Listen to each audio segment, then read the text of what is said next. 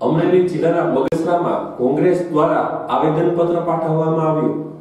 બગસરા નગરપાલિકા દ્વારા budget March મહિનામાં રજૂ કરવાનું હોય અને બજેટ રજૂ પણ ન કરી શક્યું હોય અને બજેટ માટેની બેઠકો ચૂંટણી જાહેર થયા પછી મળી રહી હોય તો આચારસંહિતાનું ઉલ્લંઘન થવા પામ્યો હોય તે માટે થઈને બગસરા કોંગ્રેસ દ્વારા ચીફ ઓફિસરને આવેદનપત્ર પાઠવવામાં આવ્યું હતું.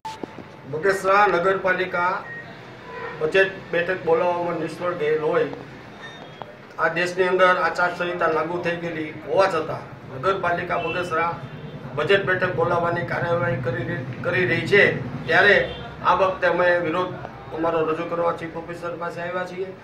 જ્યારે આચારસંહિતા લાગુ થઈ ત્યારે બજેટ બેઠક બોલાવી શકીએ નહીં, બોલાવી શકાય નહીં કોઈ પણ વિકાસના કામો અંગેની જાહેરાત કરી શકાય નહીં.